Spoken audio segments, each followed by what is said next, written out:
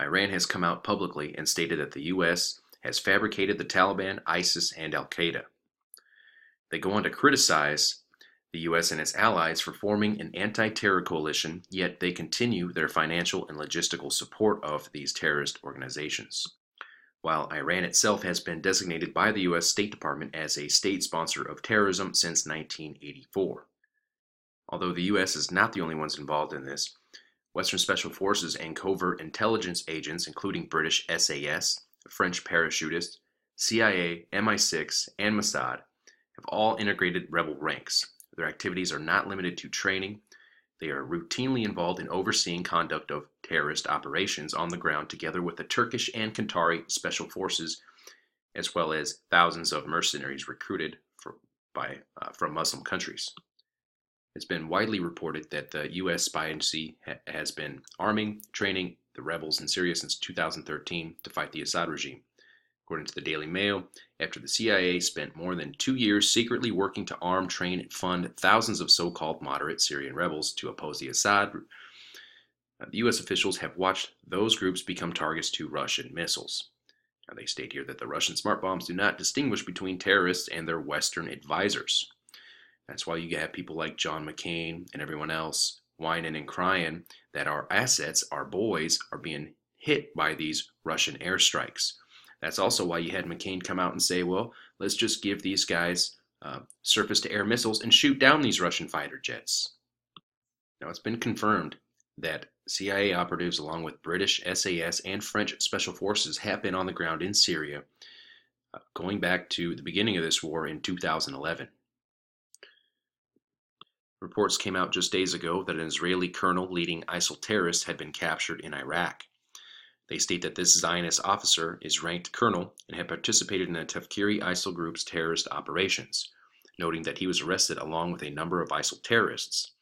The Israeli colonel's name is Yussi Olin Shakak, and he is ranked colonel in the Golani Brigade of the Zionist regime's army with the security and military code right there. There's a security and military code. Now, they had all been interrogated, and they wanted to know why exactly he was out there doing what he was doing.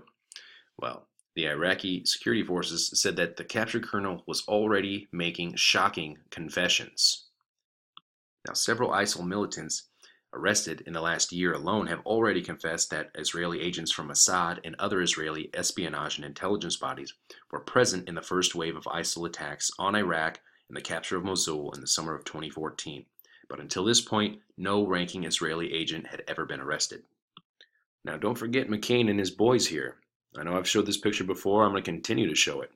This guy right here is known as al Baghdadi, the leader of ISIS, ISIL, the guy that's been reported killed like how many times.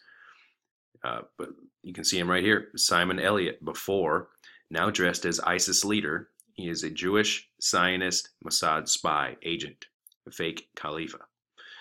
So as you can see here, right here, is the same guy from the the John McCain pictures, Muaz Mustafa. They're saying that he was born in Damascus, Syria, before moving to America at the age of 12, drawing inspiration from the heroes of the American Revolution, Muaz has worked with Capitol Hill on behalf of the Egyptian and Libyan revolutions.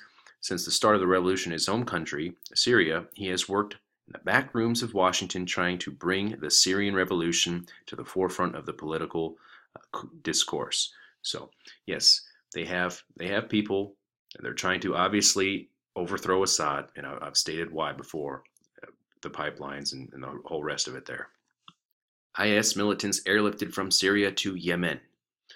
Okay, well, let's see here.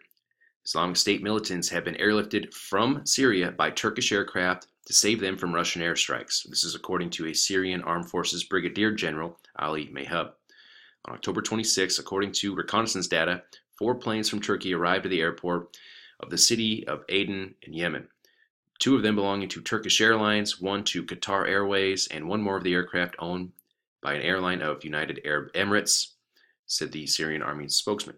Now, they said that there was more than 500 militants from the IS terror organization on board, and they were taken from Syria to save them from these Russian airstrikes. Now, They state that these militants were met by officers of Saudi coalition that took them from the airport in three groups. So when you have guys like this coming out warning that IS is planning a mass attack on Britain or the US or Australia or Canada or anywhere like that, just know who's behind it, who's on the ground with them, who's overseeing them, giving them the training, the logistics, the funds, the arms, all of it. I just showed you. So, yes, until this point, uh, the threat of terror has been very, very uh, successful for them as their proxy armies to go in and destabilize any country, nation, state, overthrow whoever they want, and just move in. It gives them the excuse to go into these countries. They send these operations in, they destabilize the region, then they have to come in and uh, save the day or whatever. But regardless, at the end of the day, the, the terrorists or whoever is on the ground, they're all going after, they all have the same goal, and that's regime change. They want to put a puppet regime in, okay? They're also going to take your rights.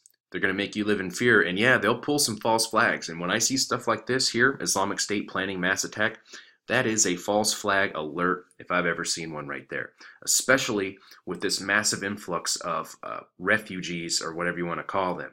That whole thing is by design as well, and I'm exposed to that. So just be aware.